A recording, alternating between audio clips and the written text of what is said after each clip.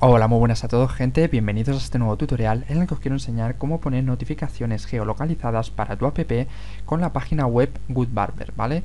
Eh, en el tutorial anterior eh, os mostré cómo podíamos eh, realizar lo que es una aplicación para Android y iOS sin saber programar, ¿vale? Mediante el servicio GoodBarber, ¿vale? Esta página web que nos permite pues elaborar nuestra aplicación, personalizarla y demás dentro de su interfaz gráfica. La verdad es que es un tutorial que recomiendo y si bueno, si no habéis visto ese tutorial pues es un poco complicado que podáis hacer este, así que recomiendo que veáis el tutorial anterior, estará ahora mismo apareciendo eh, por la pantalla y bueno, podréis ir ahí a hacer clic en la miniatura y, os llevará a ese vídeo. También estará en la descripción del vídeo para quien le interese, ¿de acuerdo? Dicho esto, vamos a irnos a lo que es eh, la página de Good Barber y bueno, ya estamos en la página. Evidentemente, si ya habéis creado la aplicación, pues vais a tener que logaros eh, con vuestro ID y demás y vuestra contraseña, os logáis y, habéis, y entráis y ya está, ¿vale? Nos vamos a dirigir a este, bueno, al menú que tenemos siempre aquí en, la en la izquierda y bueno, eh, nos vamos a dirigir aquí a add-ons, ¿vale? Una vez aquí nos vamos a fijar en notificaciones, ¿de acuerdo? Como veis, entraríamos aquí en add-ons y nos dirigimos a notificaciones. Tenemos tres tipos de notificaciones, las notificaciones push programadas, las geofencing y los eh, beacons, ¿vale? Eh, os voy a explicar un poquito en general lo que harían estas tres, ¿vale? Lo que quiere hacer Barber con las, con las notificaciones es que tú puedas eh, pues enviar distintas eh, notificaciones o distintos, los distintos artículos que tú vayas publicando se envíen a los usuarios que tengas tú en tu aplicación, ¿vale? Eh, podemos personalizar lo que es el radio, ¿vale? Eh, de la geolocalización, es decir, a las personas que se encuentren en este radio, pues mándales una notificación y bueno, luego tenemos eh, distintos métodos de configurar todas estas opciones, ¿vale?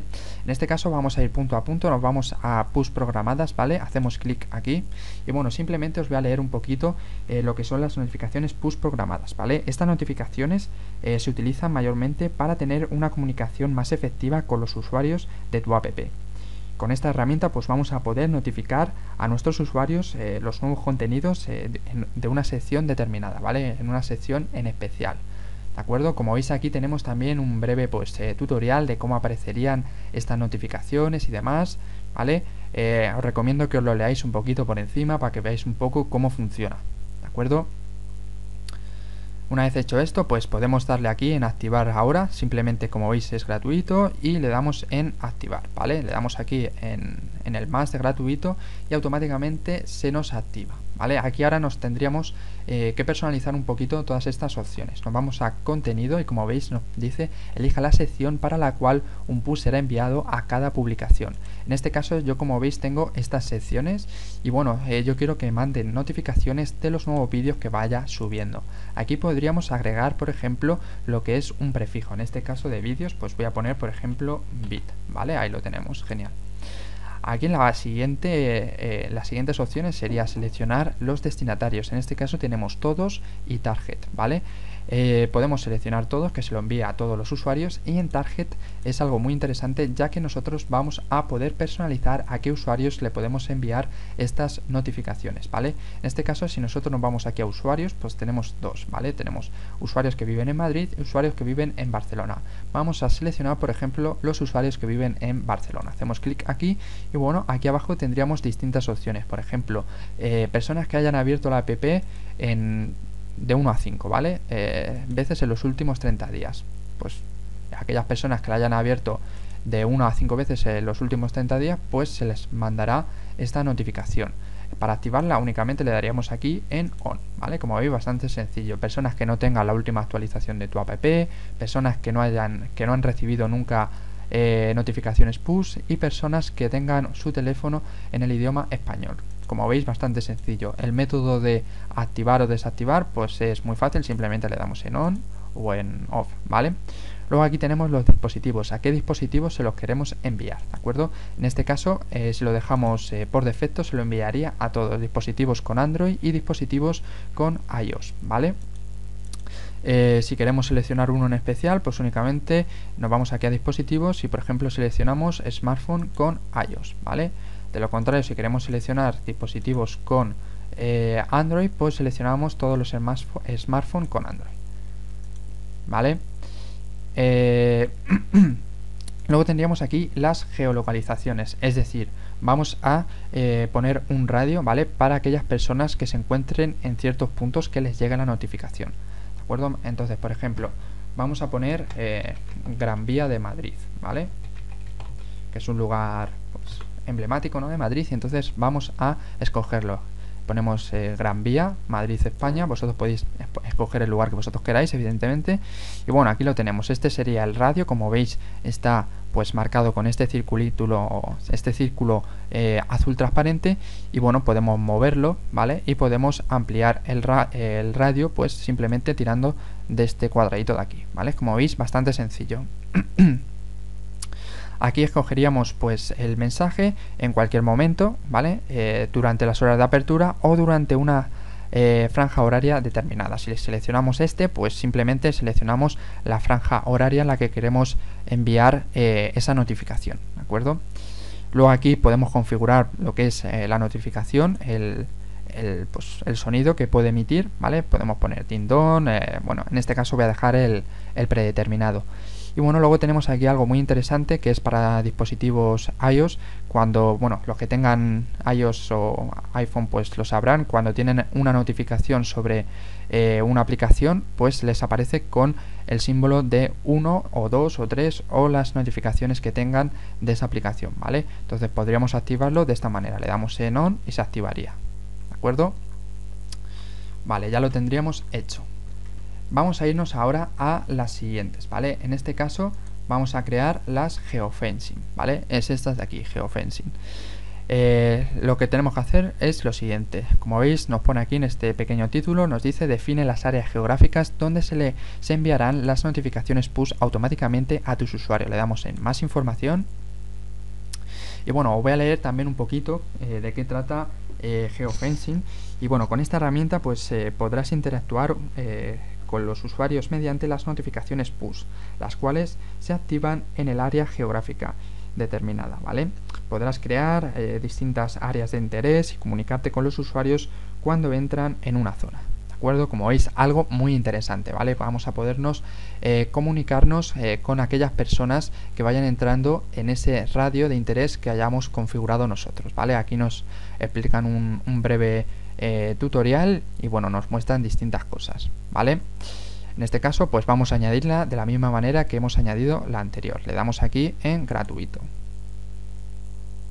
Automáticamente nos envía aquí y bueno, en este caso podemos escribir nuestro mensaje. Eh, escribimos un mensaje que nosotros queramos, por ejemplo, eh, estoy en Madrid Centro, ¿vale?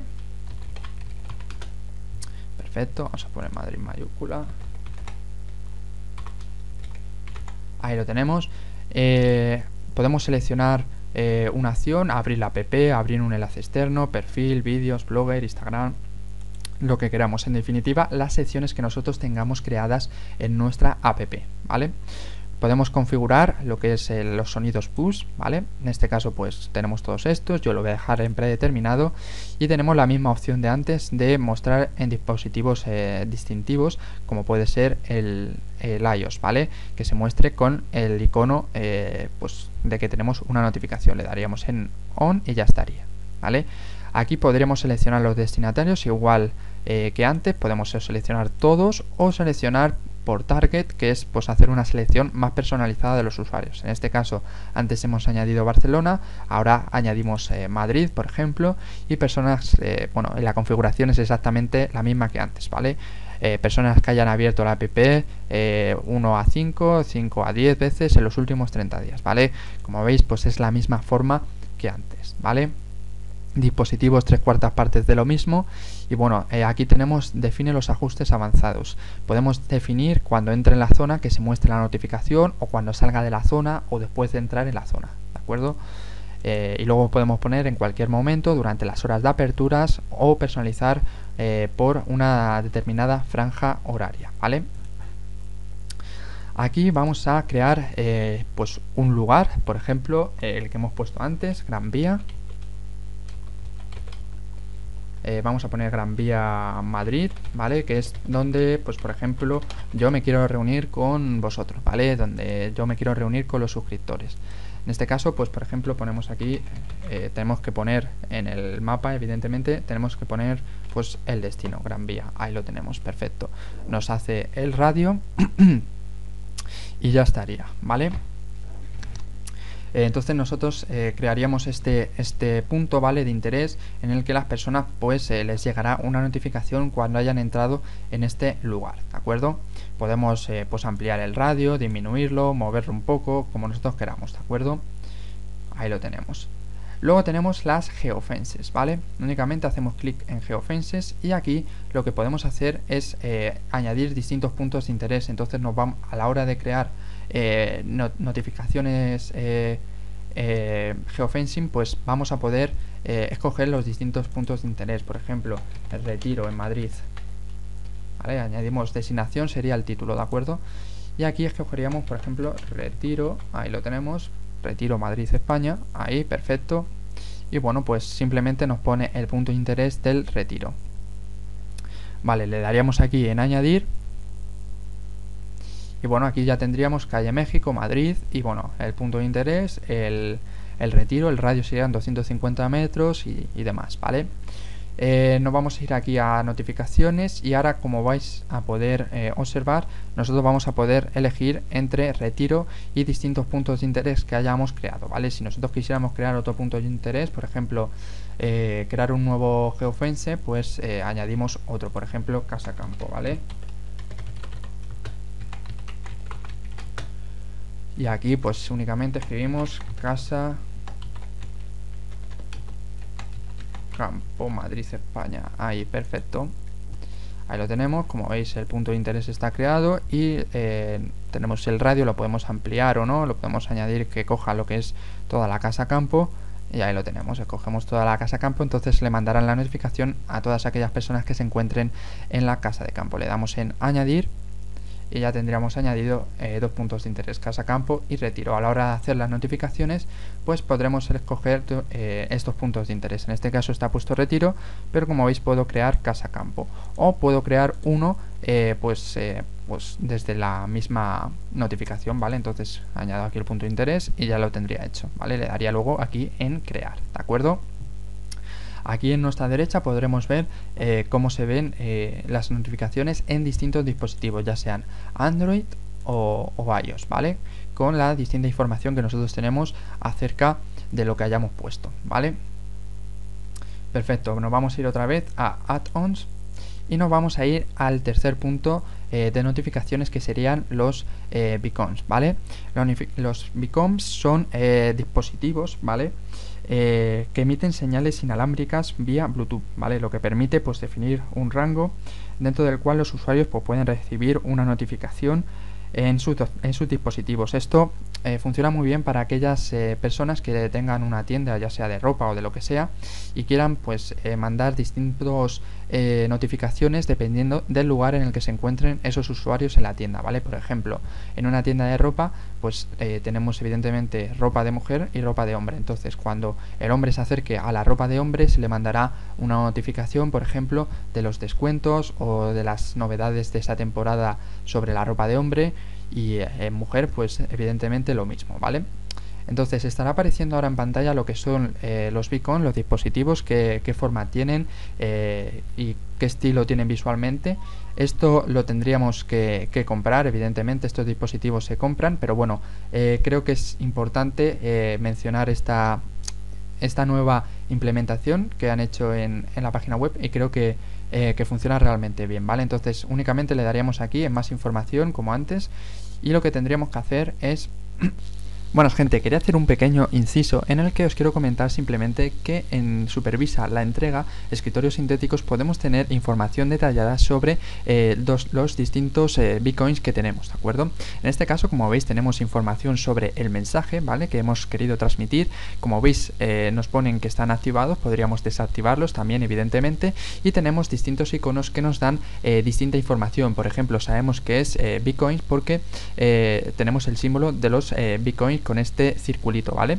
Luego también tenemos a nuestra disposición eh, las estadísticas, ¿vale? En este caso sabemos que tenemos estadísticas porque nos lo muestra eh, con este otro icono. Luego también tenemos otros iconos que también nos dan distinta información, como por ejemplo este que nos dice que está eh, en la salida, ¿vale? El, Bitcoin, ¿vale? En este caso, como veis, lo pone ahí, ¿vale? El símbolo de salida. Y tenemos en exit. Bueno, luego tenemos, bueno, aquí nos pone una breve eh, definición de lo que es, como veis pone visualiza de un vistazo todas las notificaciones eh, automatizadas y sus configuraciones. Abre una lista de tus beacons y sus características. Como veis, pues es esto que os acabo de explicar, ¿vale? Luego aquí abajo en estadísticas, pues tenemos eh, lo siguiente, ¿vale? vemos un poquito el rendimiento que están teniendo nuestros Bitcoin, la gente que hace clic en ello, las notificaciones que se abren, bueno, un poquito en definitiva las estadísticas de los propios Bitcoin que estamos utilizando. Y nada gente, ese era el pequeño inciso que os quería comentar, así que nada, volvemos con el vídeo. Dirigirnos eh, hacia abajo y pues seleccionar gratuito, ¿vale? En este caso tendríamos que comprarla, ¿vale? Eh, lo que es el Bitcoin en dos empresas, ¿vale? Estarán apareciendo en pantalla, son eh, Contact y eh, ¿vale? de todas maneras, si yo me vengo aquí a Bitcoins, ¿vale? Tenéis aquí bastante información, aquí tenemos las dos empresas con las cuales vais a poder eh, comprar estos dispositivos y ya os digo que funcionan realmente bien, ¿vale? Funcionan mediante Bluetooth y demás, eh, antes de eh, demandante la información pues pueden al usuario que tengan que puedan activar el, Bluetooth para que le llegue más información más detallada sobre los distintos servicios que ofrece la tienda o los productos que vayas a, a vender tú en, tu app o lo que sea, ¿vale? Y, bueno, creo que es una buena forma de eh, pues demostrar más información a los usuarios, ¿vale? Como veis aquí tenemos eh, las dos empresas, eh, los dos fabricantes más conocidos de, este de los Beacon, ¿vale? El Contact y el Stimot, ¿vale? vale, una vez que nosotros hayamos comprado eso, ¿vale? Eso ya os digo, lo tenéis que comprar. Lo que tendríamos que hacer es bueno, aquí lo tenemos, nos vamos a ir aquí a usuarios y nos vamos aquí a ibicons, ¿vale? Recordar que aquí tendríamos las notificaciones, ¿vale? Nos iríamos a usuario y tendríamos programadas eh, eh, notificaciones de GeoPush, eh, GeoFences y ibicons. En este caso nos interesa eh, ibicons, ¿vale? Yo ya tengo el beacon layout, que es el que viene por defecto, bueno, y, que es el que voy a utilizar para hacer la prueba, ¿vale? En este caso tendríamos que añadir eh, lo que es un identificador único universal, que ese nos lo daría con el eh, beacon que hayamos comprado. y únicamente pues tendríamos que introducir el siguiente eh, pues la siguiente información que nos, que nos muestran, ¿no? que nos dan. Entonces, en este caso tenemos esta, ¿vale? El, el identificador único universal, pues es este que yo, que yo tengo aquí. Le daríamos en copiar y pegaríamos, ¿de acuerdo? En este caso ya lo tenemos, el otro también, y le daríamos en guardar. Ya digo, esta información os la tiene que dar pues el fabricante al que hayáis comprado el beacon, ¿vale? Le daríamos en guardar y ya lo tendríamos. Si nosotros quisiéramos crear un nuevo, eh, tenemos una lista, de hecho, hay listas, pero si nosotros queremos crear un nuevo beacon, pues como veis tendríamos que añadir eh, el mayor ID y el minor ID, ¿vale? En este caso yo también los tengo aquí, el mayor ID sería este, 1, 2, 3, 4, 5, le damos en copiar y le daríamos en pegar. El mayor, minor ID pues exactamente lo mismo. Una vez hecho esto le daríamos en añadir, bueno tendríamos que introducir el, el nombre, por ejemplo beacon entrada y le daríamos en añadir. Vale, ya tendríamos nuestro Bitcoin hecho, ¿vale? Y así de esta manera pues podríamos mandar notificaciones a nuestros usuarios dependiendo de qué zona estén en la eh, tienda, ¿vale? En la tienda o el servicio comercial que nosotros tengamos poquito más que comentar, creo que es una buena herramienta, es una buena implementación este, este estilo de notificaciones, creo que esto es básicamente el futuro y creo eh, que es la forma en la que se van a empezar a mandar las notificaciones, eh, sobre todo para aquellas eh, personas que tengan un negocio o que quieran transmitir información más detallada. Con esto me voy a despedir, espero que os haya gustado este tutorial, que os haya servido sobre todo, y si es así, deja tu like, tu comentario y suscríbete al canal. Con esto me, me despido, un saludo a todos y nos vemos en el próximo vídeo. Adiós.